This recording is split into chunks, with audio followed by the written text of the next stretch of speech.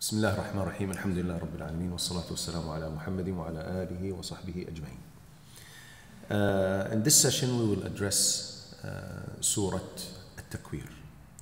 Uh, surah At-Takwir is a Meccan surah. Uh, this is an agreement amongst the scholars. There is no difference of opinion regarding it being a Meccan surah. It's one of the surahs, uh, one of the uh, few surahs, or the initial astaghfirullah, one of the initial surahs uh, that were revealed to Muhammad sallallahu. It was uh, said that it's either the sixth or the seventh surah that wa- was revealed to Muhammad sallallahu alaihi wasallam. Ibn Ashur said it was revealed after Fatiha and before Surah Al-A'la.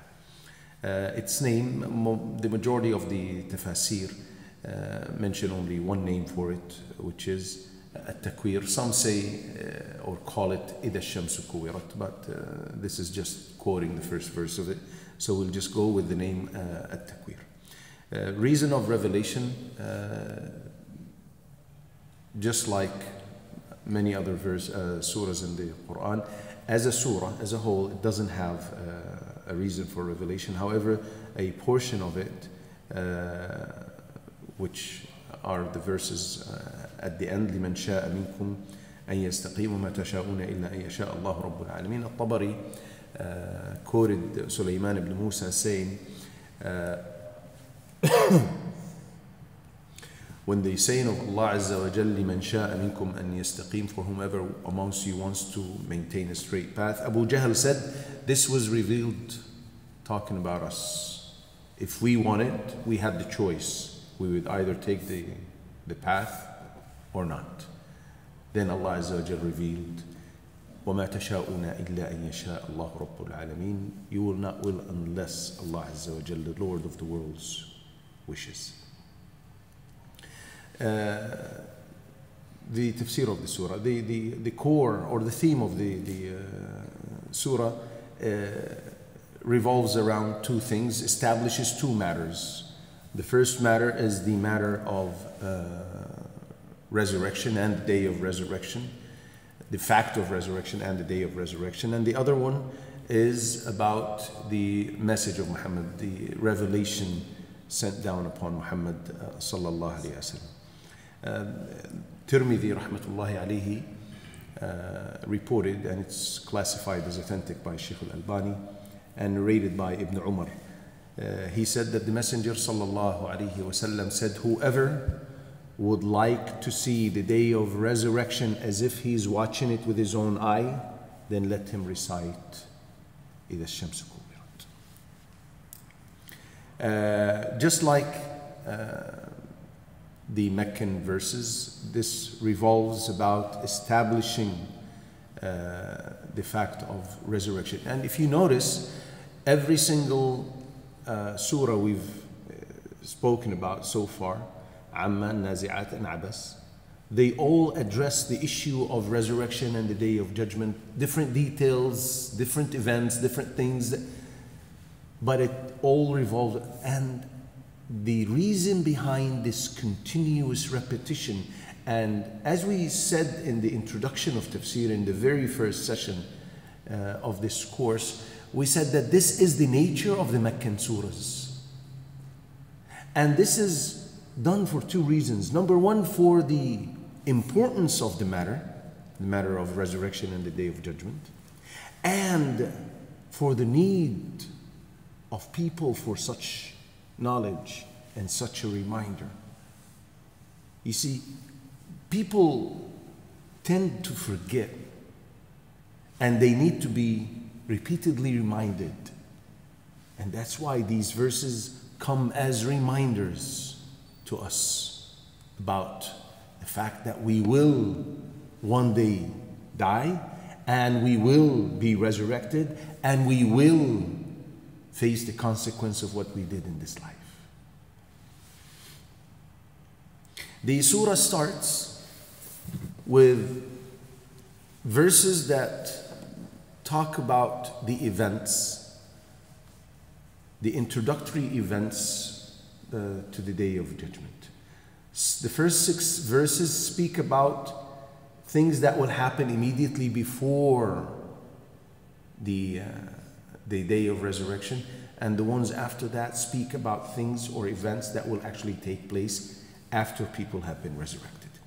The first set of six verses uh, talk about like a, a cosmic revolution. Things in the universe will change drastically. Nothing remains the same. Nothing will remain the same. Allah Azza wa Jal says, إِذَا الشَّمْسُ كُوِّرَتْ When the sun is wrapped up in darkness. Now, this huge planet, the sun, which is the source of heat and light for us, on that day, as Tabari said, it will be folded. Kuwirat is made to make something in the shape of a ball, to wrap it up and make it in the shape of a, uh, of a ball, right? And the, the effect of that wrapping and rounding of that sun will make it lose these two effects its light and its heat. At-Tabari said it will be folded and wrapped up and then thrown and thus it would lose its light. Abu Huraira said, and this is uh, narrated but reported by Al-Bukhari, that the Messenger sallallahu alaihi wasallam said, the sun and the moon will both be folded up and wrapped on the day of judgment. وَإِذَا النُّجُومُ انْكَدَرَتْ And when the stars fall scattering. Ibn Abbas said, the stars would lose their lights and then start falling down on earth and scatter. Ata said, the sky will start raining stars.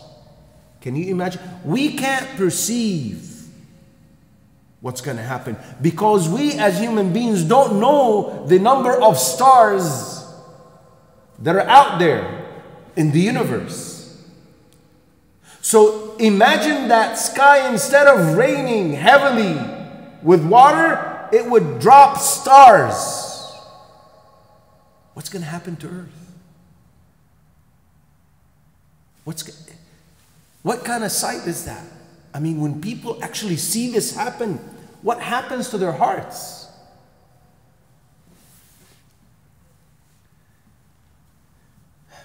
وَإِذَا الْجِبَالُ سُيِّرَتْ And when the mountains are removed. On that day, a great shake will happen to earth. Mountains will be extracted, uprooted from the roots. And then Allah Azza wa Jal will turn them into heaps of loose, of loose sand. And other narrations or other scholars stated or described that they will become like dust. And then Allah Azza wa will make them scatter by sending a wind on them. All of these things happening before people's eyes. The sun, the stars, things in the heavens, things on the earth. It's an introduction to something that is serious. وإذا العشار عطلت and when full term she camels are neglected. Ishar is a description or a name given to camels that are 10 months pregnant. Now, Allah Azza wa Jal is addressing, addressing the Arabs, particularly the Quraysh at that time, uh, with something that relates to them. See, the most precious of wealth at that time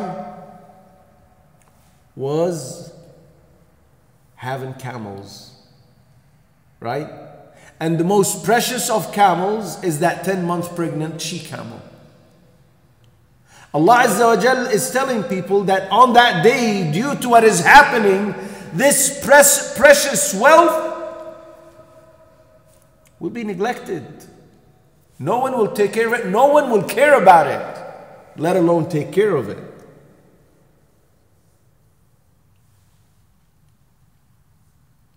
And that naturally reflects how scared people will be, the fear, the extent of fear people will be experiencing that would distract them from this precious wealth which they strove hard in their life, worldly life, to obtain. Right? Just like, for example, someone tells you uh, a ton of diamonds, for example. How long would someone work to collect a ton of diamonds? I don't know. Uh, it probably needs generations, right? Imagine that being neglected. You pass by it, you don't even look at it, you don't care if it exists or disappears. Why? Because your mind is busy with something else. وَإِذَا الْوُحُوشُ حُشِرَتْ And when the wild beasts are gathered, they will be gathered from different places. It will come out, collect in one place, and they will not act as they naturally do attack. They will not. Because their, their state, they're seeing things that are scary as well. They will not attack man. Ibn Abbas said, Allah will gather them and then later will judge between them. If an animal attacked another animal, Allah will give the right of the attacked from the attacking animal. This is between animals.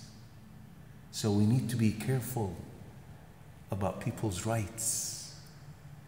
And we, we need to remember that no matter how minor we think that right is, it will be taken back.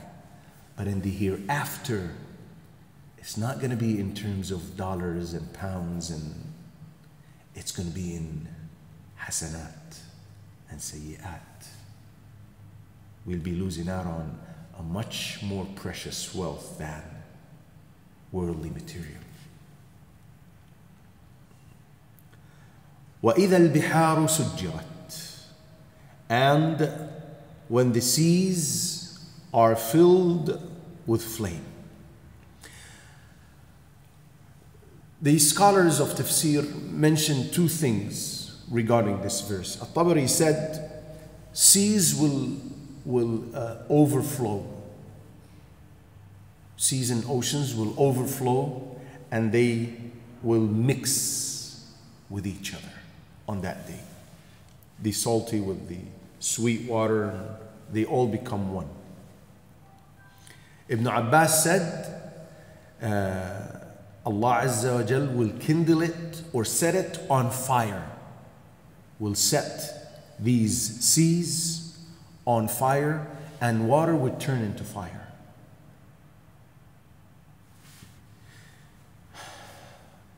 Ubay ibn Ka'b said, these first six verses speak about events that will take place at the end of time before Allah Azza wa Jal uh, resurrects people.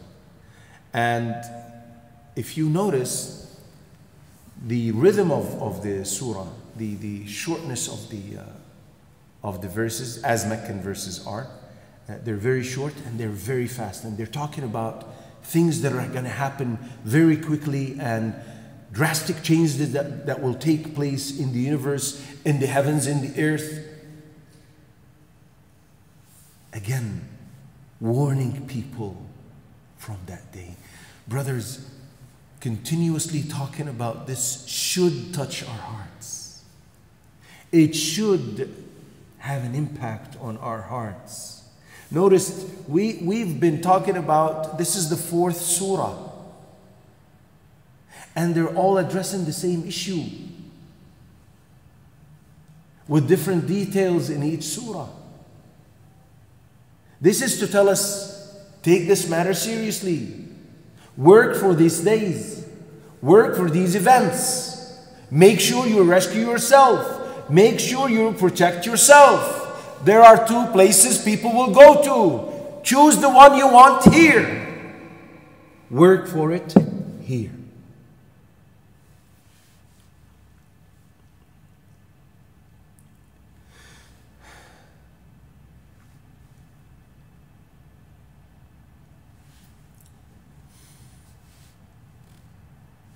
We ask Allah's protection. Let's conclude with these six verses now uh, and continue in the following session, inshallah. Subhanakallah wa hamdika, ashhadu an la ilaha illa anta, astaghfiruka